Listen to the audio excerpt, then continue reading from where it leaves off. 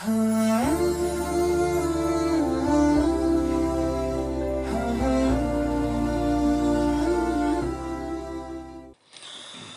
لله رب العالمين والصلاة والسلام على أشرف الأنبياء والمرسلين وعلى آله وصحبه أجمعين أما بعد السلام عليكم ورحمة الله وبركاته Bugünkü cuma günümüzde mübarek olsun. قال رسول الله صلى الله عليه وسلم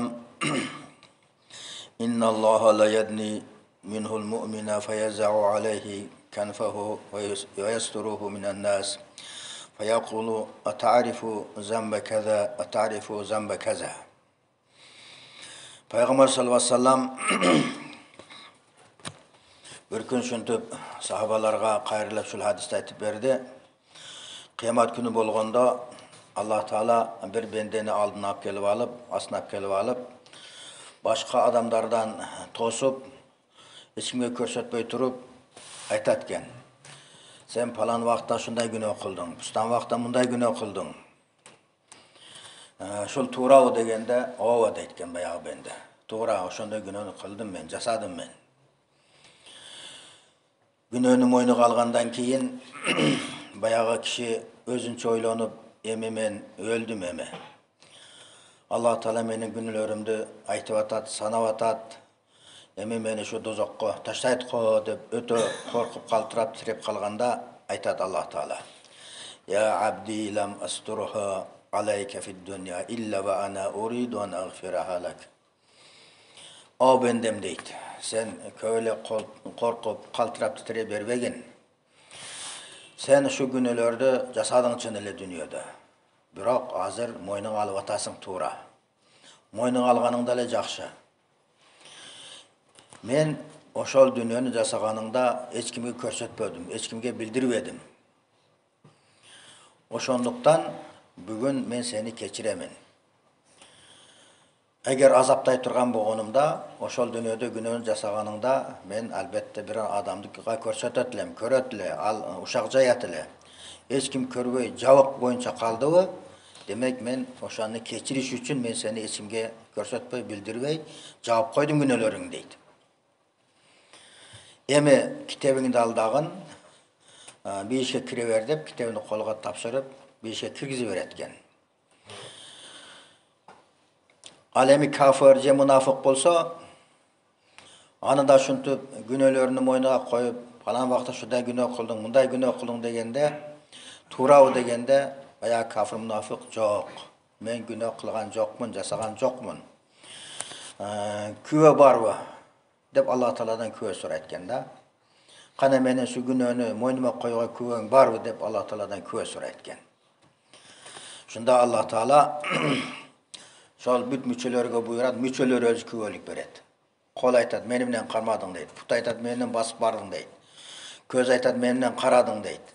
Шунда бүт өздөн өзү күбөлүк беришет. Аны ал кафир мүчөлөргө карап, мен силерди дозокко түшүп азапталбасын кыйналбасын деп силердин тараңарды алып күнөөмдү мойнума албай жатсам силер кайра күнөөнү мойнуңа алып өзүңөрдү азапка түртүп атасыңар да дегенде мүчөлөр айтат экен аллах таала бизге ушундай буйрду буйурду биз ошо алла тааланын буйругун аткарып кандай жасаган болсок эмнени кылган болсок ошону айтып берүүгө биз өзүбүз кантип айтып койгонубузду билбей жатабыз дейт экен Кыскасы адам күнөөсүн мойнуга албай күбө сураганда Алла Тааланын ачуусу келип, бүт мүчөлөрүн сүйлөтүп коет экен. Мүчөлөр өздөрүнөн тил чыгарып айтып берет экен ошонун күнөөсүнү. Анан бул мүчөлөрү күбө болгондон кийин дозокко таштайт экен. Бул хадистен шундай мазмун чыгат. Албетте күнөөсүз бенде жок. Ар бир адамда күнөө бар. Бир эле бир күнөөнү билбей кокустан жасап койсо эч ким көрбөгөн болсо эч кимге айтпаш керек жашырын боюнда калыш керек бир адам өзүнүн жасаган күнөөсүн эч айтпасын экен. Бирөөгө айта турган болсоң анда ал күнөө кайра жазылып кайра сага ошол уккан адам барбы дарак таш барбы баары өтүп коет экен. Ошон үчүн жашырын күнөө болгонду эч кимге айтпаш керек. Мактанбаш керек мен ушундай күнөө жасадым деп. Ал өзүнүн пайдасы экен. Kullu ummet muafa illel mucahirin. Kıyamet günü bendelerinin bardığıyla günöleri keçirilet. Bирок ушундай ачык жасаган же жашырын күнөө жасса да элге ачык кылып айтып берген булардын күнөөлөрү кечирилбейт дейт анан бир күнөөнү жасап алып анан кийин келип досторунун алдында шериктеринин алдында мен ушундай ушундай жасадым ушундай күнөө кылдым деп ачыкка чыгарса бул албетте жоро досторго да кубат болуп эй мен да ушундай жасасам болот экен бул жасаптыр деген Ee, mani bilen Allah'ı jasap koyuşu mümkünçülüğü var. Şunun için hiç kimge günahsını etmesin. Yaşırsın. Yaşırsa inşallah kıyametin Allah Teala da anın günahsını yaşırıp koyu öğretken. Man istema'a habara kavmin ve hum lehu karihun subba fi uznihil anik yaman kıyama.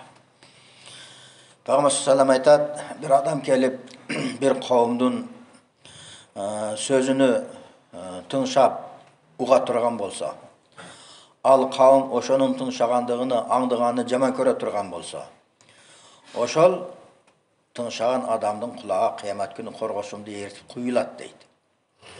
Ошон үчүн бир эки адам өзүнчө сүйлөшүп отурган болсо же бир жамаат өзүнчө сүйлөшүп отурган болсо барып аларды аңдабаш керек. Алардын сөзүн угайын эмне сөз кылып атат экен деп укпаш керек. Алыста тура бериш керек экен. Эгер атайын ошонун сөздөрүн угайын сырларын билейин деп аңдып тыңшап сөзүнүн сөздөрүн уга турган болсо ал кавм анын уккандыгын жаман көрө турган болсо кыямат күнү анын кулагына коргошунду ээритип куюлат дейт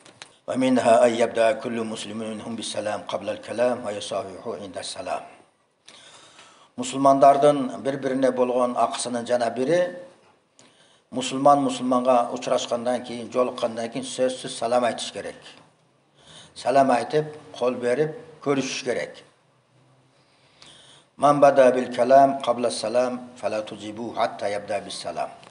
пайғамбар салам айтады кім саламдан мұрда сөз баштаса анын сөзіге жооп бербегиле дейт салам бермейінше жооп бербегиле дейт ошондуктан эки мусулман жолукканда дароо сөздөн мурда акыбал сураштан мурда биринчи салам айтыш керек анан башка сөзгө өтүш керек إذا دخلتم بيوتكم فسلموا على أهلها فإن الشيطان إذا سلم أحدكم لم يدخل بيته пайғамбар салам айтады сілер үйіңерге кірсеңер деле салам айткыла ассаламу алейкум ва рахматуллахи ва баракатуху деп үйіңерге да салам айтып киргиле эч ким болбосо деле же үй бүлөң болсо бала чакаң болсо деле ошолорго салам айтып киргин Sebebi qaysi uyga salom aytib kirilsa, al uyga shayton kiralmayotganda.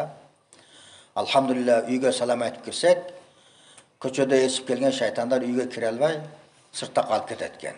Ana shu uyda baraka bo'ladi. Janjal bo'lmaydi, to'polon bo'lmaydi, yaxshi barakali bo'ladi.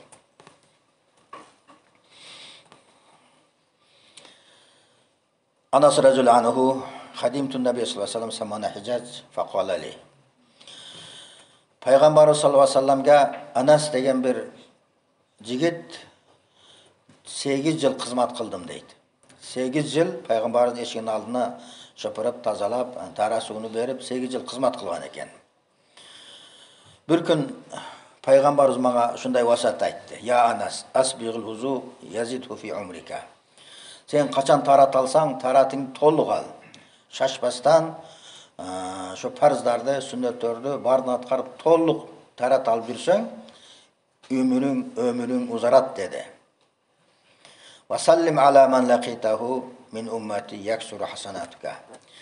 мен үмөттөрүмдүн кимисине жолуксаң салам айткин мында сенин соогуң көбөйөт وإذا دخلت منزلك فسلم على أهل بيتك يكسر خير بيتك үйіңе кірсең үй бүлеңе де салам айтып кірген шында үйіңде жақсылық берекелер көбейеді деді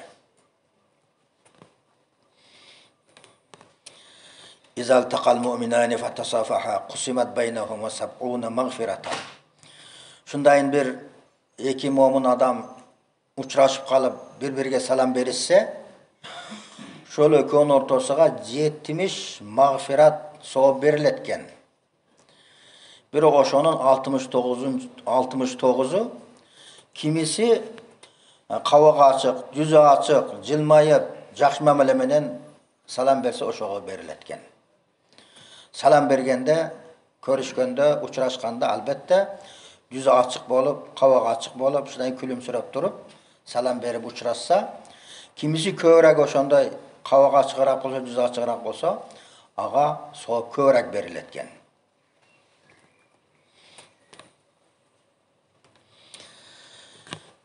Qala sallallahu aleyhi ve la aytdı, sizler bir işe kirelbeysinler. İmanыңар толуктамайынча, иманыңар толуктамайынча tu'minu hatta tahabu. İmanыңар толуктанбай, bir-бириңерге muhabbat koymayınca. Müslümanlar бар bir-biriге muhabbat koy, bir-birini жақсы көрүш керек кек сақтабаш керек қызғанбаш керек көре албас кылбаш керек ошондо ыйманыңар толук болот афала адуллукум ала амалин иза амилтумуху тахабаптум силерге айтып берейинби кайсы ишти кылсаңар бири бириңерге мухаббатыңар түшөт дегенде сахабалар айтың я расулалла дешти афшу салама байнакум салам айтканда ачык угузуп үнүңөр көтөрүп айтсаңар Шонда бір-біріңерге мұхаббат түседі. Ассаламу алейкум деп ұғызып. Ана шорап қойған болып, өзіңді қуыратқандай болып, ұғылар, ұғылар бас салам айтып қойсаң, анда жүректерге мұхаббат түсіп кек түсіп қалады дейді. Шөне үшін араңарда саламды ачық айтып жүрсеңер, жүрегіңерге бір-біріңердің мұхаббатыңар түседі. Жа разул иля Расулullah саллам фақала ассаламу алейкум. Bir kişi Peygamber sallallahu aleyhi ve kelip durup assalomu alaykum dedi. Payg'ambar sallallohu alayhi vasallam aytdi sanga o'n ese savob bo'ldi dedi. Dan bir kishi kelib assalomu alaykum va rahmatulloh dedi. Og'a aytdi sanga yigirma ese savob bo'ldi dedi. Uchinchisi kelib assalomu alaykum va rahmatullohi va barakatuh dedi. Sanga o'ttiz ese savob bo'ldi dedi. Ana salomda qancha yaxshi so'zlar qo'shib aytaversang ошончолук сооп арта берет экен ассаламу алейкум десең он сооп болот экен ассаламу алейкум ва рахматуллахи деп рахматулланы коссоң жыйырма сооп болот экен ассаламу алейкум ва рахматулла ва баракату баракатуну коссоң отуз сооп болот экен ушундай канча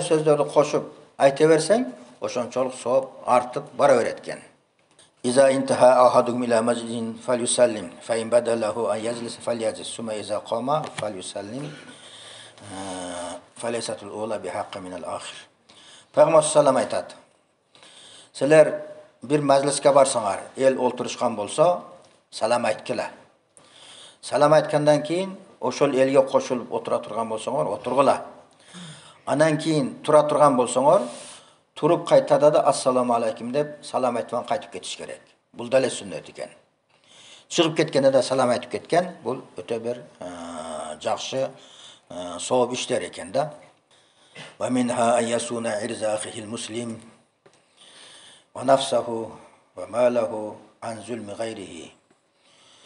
мұсылмандың жана бірге бірінің болған ақысы мұсылман адам дайым бір бірінен тарабын алып бір бірінің абыройын сақтап жүріш керек мысалы ушул жерде отырғанымызда бір адам бір адам ғибат қылып же кемшілігін айтып же кемсітіп сүйлеп қала тұрған болса біз ошоны тыйышыбыз керек қой сен андай дебе сен айтқан киши мындай жаман адам емес бул иштерди кылган эмес деп тыйышыбыз керек экен анан ага кошулуп алып да жамандап же сүйүнүп отурган бул мусулманчылык сапаты болбой калат экен сөзсүз мусулман мусулмандын аброюсуну коруктап туруш керек инна ражулан нала мин ражулин инда расул саллам фарадда анху رجل فقال النبي صلى الله عليه وسلم من رد عن إرز أخيه كان له حجابا من النار шундай пайгамбар саллаллаху алейhi вассаламдын алдында бир канча адамдар отуруп бир киши бир кишини жоқ кишини анан жамандап кемчиликтерин айтып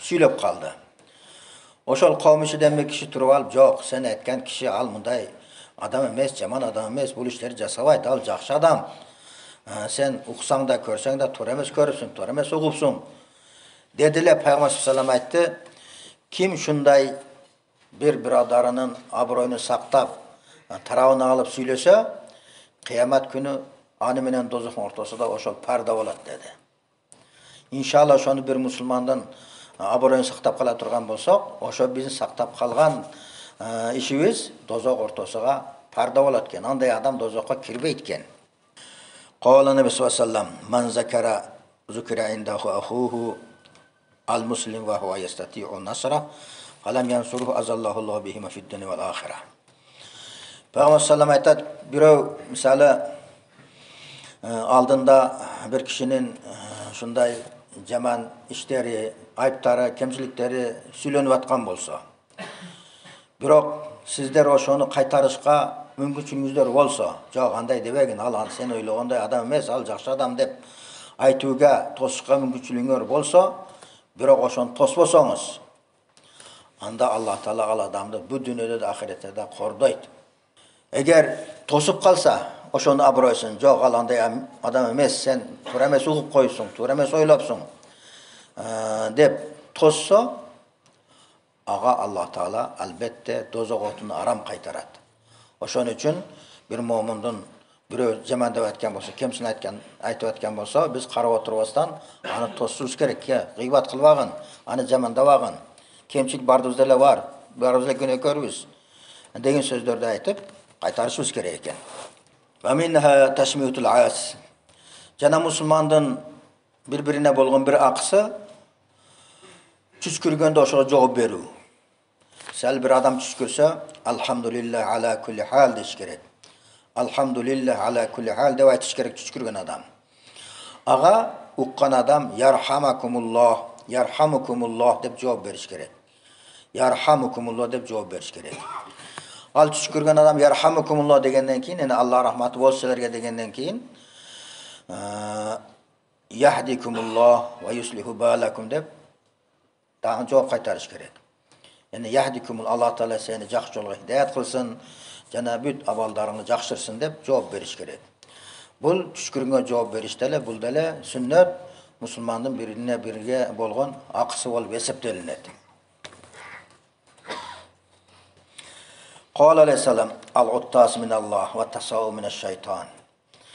Payg'ambar sollallohu alayhi vasallam aytdi, bu chuchkurish bu Alloh taoladan. chuchkuru bu Alloh taoladan. o'shandoqdan chuchkurgandan keyin so'z alhamdulillah deb Alloh taolo hamd aytish kerak. Biroq tasavvub esnov bu shaytondan. Esnasa bir odam bu shayton esnatadi ana. Бирок ошо эснеген адам мүмкүнчүлүгү болушунча оозун жаап ошо эснөөдү кайтарып калыш керек эгер эснөөдү кайтарбай оозун ачып алып ах деп эсней турган болсо шайтан ага аябай жыргап күлөт оозудагы нерселерди көрүп ичидеги нерселерди көрүп туруп аябай жыргап күлөт экен да ошол себептен шайтанды күлдүрбөй шайтанды ыраазы кылбай нерсе келгенде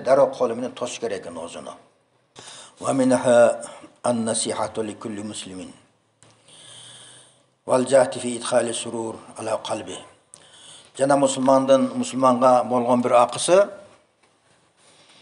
әрбір мұсылман әрекет қылып бір мұсылманның жүрегіне бір қуаныш кірдірішке әрекет қылыш керек мұсылманды сүйіндірішке әрекет қылыш керек аны қапа қылбасын ал мумину юхиббулул мумини кама юхиббу линафсихи момун адам өзүгө эмнени жакшы көрсө башка момундарға да ошону жакшы көрүүсү керек. Момун адам өзүгө жакшы көргөн нерсени башкага жакшы көрмөйүнчө ал ыйманы толук болбойт. Өзү жакшы жашап толук жашап анан кээ бир мумундар начар жашап жүргөн болсо ашага сүйүнүп ошого сүйүнүп өзүнчө сыймыктанып мактанып жүрө турган болсо ал ыйманы толук эмес начар жашагандары да начар жүргөндөрү да бул ошого да алла таала берсе экен байыса екен үй құрып алса екен там құрып алса екен деп өзі жашағандай жақсы жашаған аларға да жақсы жашауды ра көрген адам бұл иманы толық адам болады من مشى في حاجة أخيه ساعة من ليل ونهار قضاها أو لم يقضها كان خيرا له мин шахрайн пайғамбар саллаллаху айтады кім сондай бір момындың бір әжетін атқару үшін жүрсе бір момынға жардам берейін деп түні болау же күндіз болау бір саат бір саат деген бір аз уақыт ошонун чогуу жүрүшүн ишин бүтүрүп коеюн деп жардам берейин деп жүрсө ошол ишти бүтүрө алса да бүтүрө албаса деле ошол бир аз шону менен чогуу басып ажетин бүтүрөйүн деп жүргөн адамга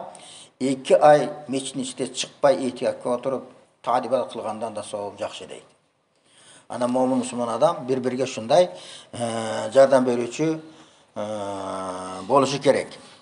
Kichkina bir yordam berib qo'ysa, so'zi bilan, qo'li bilan, boshqa narsalar bilan, 2 oy ehtiyotga o'tirgandan da savob ortiq bo'ladi. Va qala assalam inna min habbil amal ilallah ithalu surur. Payg'ambar sallam aytdi, eng bir amaldarın yaxshisi bir mo'minning mo'min odamning yuragiga quvonch kirgizuv. Bir mo'min odam yuragina so'zsiz quvonch kirgizish uchun biz yurishimiz kerak. Shuni suyuntirib qo'yayin, so'zi bilan, ishi bilanmi, bu suyuntirib qo'yishlik eng bir amaldarning yaxshisi bo'larkan. Je boshida bir qayq qapoqlik bo'lsa, o'sha bir qanday yaxshi so'zlar bilan, yaxshi yordam bilan o'sha qayq qapani keltirib qo'ysa, bunda eng bir yaxshi amallardan bo'larkan. Av yut'imahu min ju. Je misali oshqa o'tirgan bo'lsa, suv o'tirgan bo'lsa, o'shaga kichkina tomoq olib berib qo'ysa, je suv olib berib qo'ysa, bunda eng bir yaxshi amallardan biri bo'lib hisoblanadi. Xaslatan laysa faqahuma shay'un min shay'in min ash-shar. Ikki narsa eng bir jaman narsa. Andan yuqori jamanlik yo'q deydi.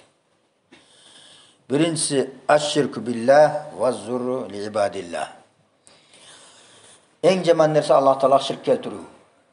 narsa Alloh taolo shirk keltiruv. Ikkinchisi Allohning bendelerine ziyon yetkiruv. Eng jaman narsa shular ekan, bundan jaman narsa yo'q. Mo'min odam mo'min odamga taqir bir ziyon yetkirvish kerak. Kichkinakay ziyon yetkira turgan bo'lsa-da, bu eng bir jaman ishni qilgan bo'ladi. Xislatani laysa fawqahuma shay'un minal bir. Yana ikki narsa bor.